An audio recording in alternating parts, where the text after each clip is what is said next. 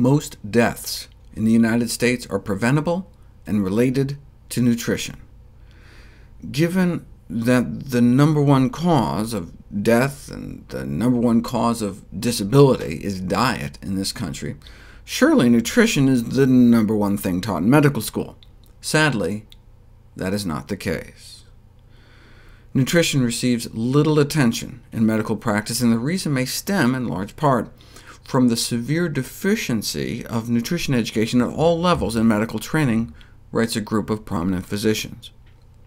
After all, a whole food, plant-based diet, low in refined carbs and animal products has been proven to reverse heart disease, for example, our number one killer, and confer potent protection against type 2 diabetes and cancer, two other leading killers. So how has this knowledge affected medical education?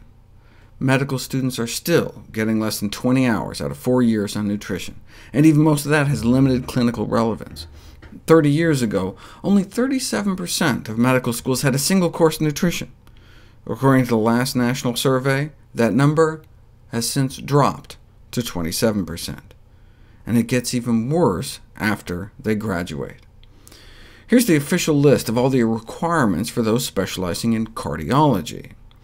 You have to perform 50 stress tests, uh, participate in at least 100 catheterizations, etc. But Nowhere in this 34-page list of requirements is there any mention of nutrition. Maybe they leave that to the primary care docs? In the official 35-page list of requirements for internal medicine doctors, not a single mention of nutrition. There are no requirements for nutrition before medical school either. Instead, those who want to be doctors need to take things like calculus, organic chemistry, and physics, most of which is irrelevant to the practice of medicine. So why are they required? Mainly to weed out students. But shouldn't we be weeding out based on skills a physician actually uses? The pernicious and short-sighted nature of the process of selection becomes evident when one realizes that those qualities that may lead to success in some pre-medical organic chemistry course, like a brutal competitiveness or unquestioning meticulous memorization, are not necessarily the same qualities we need in competent clinicians. How about requiring a course in nutrition instead of calculus, or ethics instead of physics? Despite the neglect of nutrition in medical education, the public considers physicians to be among the most trusted sources for nutrition-related information. But if doctors don't know what they're talking about, they could actually be contributing to diet-related disease. To stem the surging tide of chronic illness in the United States, physicians need to become part of the solution. Yes, there's still much to learn about the optimal diet, but we don't need a single study more to take nutrition education seriously, immediately. It is the low-hanging fruit of healthcare. We have had the knowledge we need for some time. What we need now is the will to put it into practice. By emphasizing the powerful role of nutrition, we could dramatically reduce suffering and needless death. For example, the Million Hearts Initiative. Each year, more than 2 million Americans have a heart attack or stroke, so our government launched a Million Hearts Initiative to prevent 1 million of the 10 million heart attacks and strokes that will occur in the next five years. But why stop at a million?